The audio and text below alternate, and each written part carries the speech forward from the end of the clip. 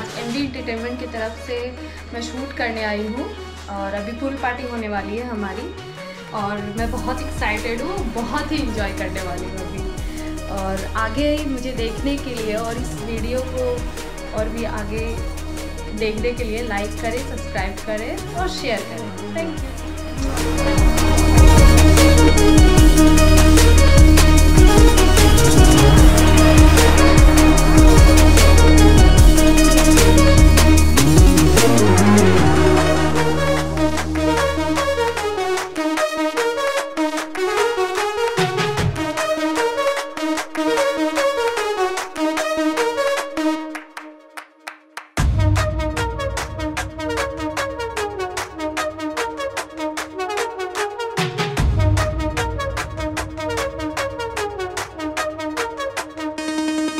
Música